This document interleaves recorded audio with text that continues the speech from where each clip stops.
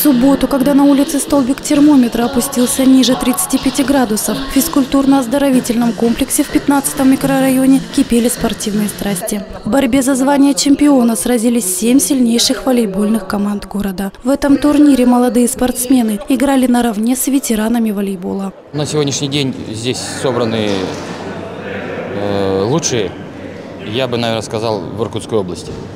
Потому что в этом году пригласили самых, самых лучших волейболистов.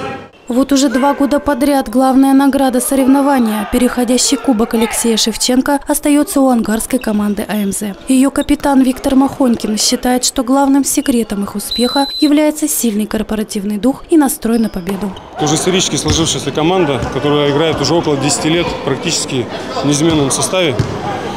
Ну и сегодня по традиции собрались тем же составом, чтобы выиграть в честь памяти Александра Георгиевича. Алексей Шевченко, бывший директор АМЗ, в память о котором и проводится турнир, собрал эту команду более 10 лет назад. С тех пор спортсмены участвуют во всех городских и областных соревнованиях, занимая только призовые места.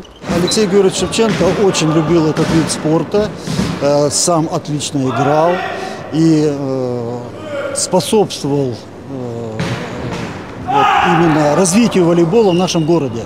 Он создал э, волейбольную команду, которая выступала за Ангарский электромеханический завод и участвовала в э, соревнованиях э, среди городских соревнований и областных и занимала призовые места. Спортивное мастерство и уверенный настрой на победу не подвел команду МЗ и в этот раз. Первое место осталось за ними. Вторыми стали волейболисты из команды «Сакура». Закрыла тройку лидеров команда ветеранов АНХК. Победители получили денежные призы от 10 до 25 тысяч рублей. Кроме того, всем участникам вручили грамоты и памятные медали. Наталья Никифорова, Дмитрий Новопашин. Местное время.